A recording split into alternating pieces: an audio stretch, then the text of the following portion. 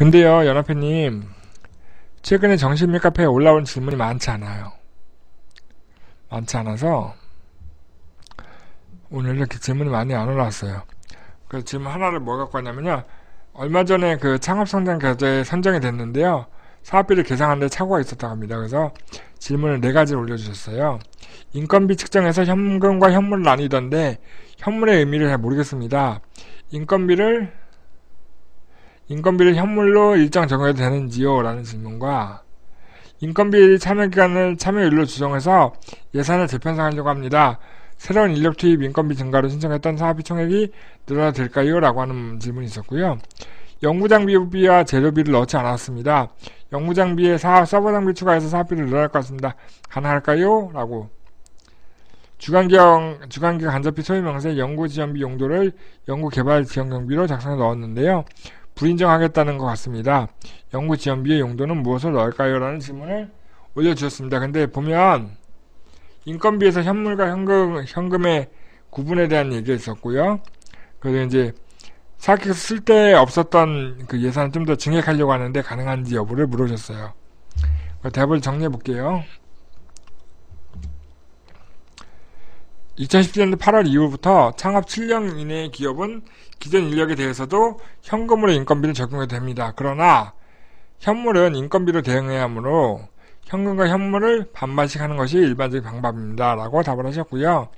협약 전에 수, 정사업 계획서를 올리도록 협약기관에서 요청하게 되는데 그때 세목별 합계 금액이 변경되지 않는 범위 내에서 참여율은 조정이 가능합니다. 단 참여 기간은 반드시 12개월로 해야 합니다. 왜냐하면 이거는 창업 성장 기술 개발 과제이기 때문에요.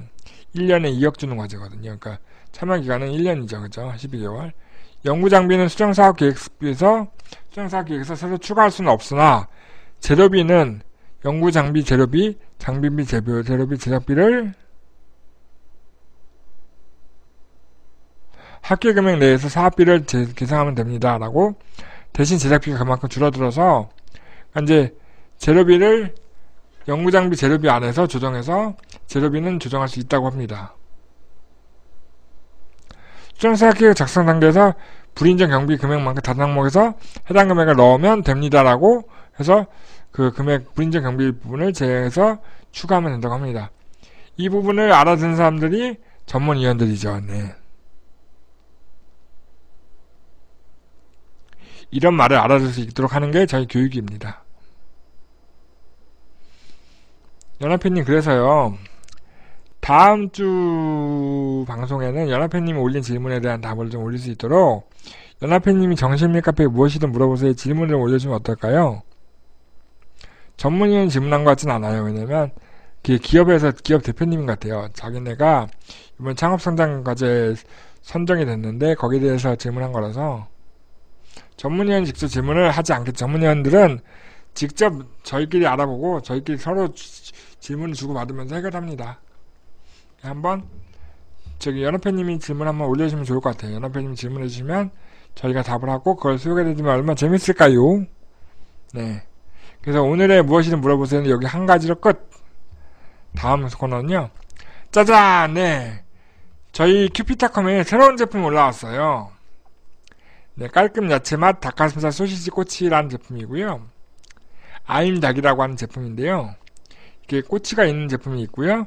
꼬치가 없는 제품이 있어요. 네. 이 제품은 제가 추천하는 이유는요. 제가 이 제품을 먹고 싶어서 추천 등록해달라고 요청했거든요.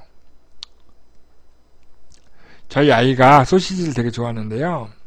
그 빨간색 소시지보다는 닭가슴살 소시지를 주는 게 좀 더 건강하지 않을까 싶어서 돈육 소시지 같은 맛과 식감이지만 실제는 닭, 닭가슴살이기 때문에 좀 더 건강에 좋지 않을까 싶어서 저희가 요청을 했고 큐피타컴에 등록이 돼서 내일부터 판매가 될 것 같습니다. 네. 아 등록이 됐나? 내일부터 판매가 되나? 하여튼 곧 판매가 될 것 같으니까요. 꼭 주문해서 맛있게 드셔보세요.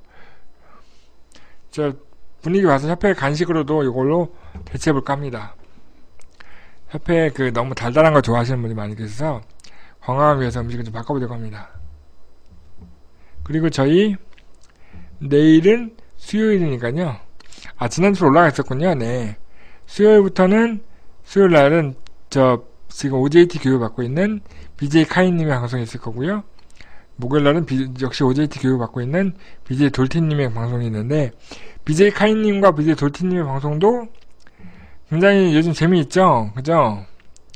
저도 전문의원분들이 많이 돌티님 방송 많이 듣고 있는 것 같아요. 이분의 강의가 기- 내공이 아주 깊어요. 그래서 아주 저도 열심히 공부하고 있습니다. 여러분들 많이 많이 들으시면서 공부 많이 하시면 좋을 것 같아요. 기술 창업에 관련된 강의를 하고 계시는데, 예, 아무래도 아이템을 찾아내는데 굉장히 도움이 되는 강의였습니다.